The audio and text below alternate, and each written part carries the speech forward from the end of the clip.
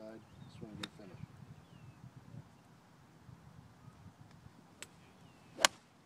Good. Good.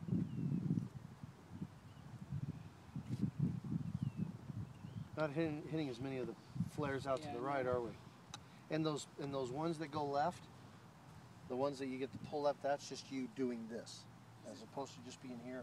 You want to be able to fire and release it down your target line.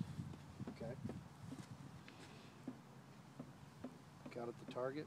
Get comfortable.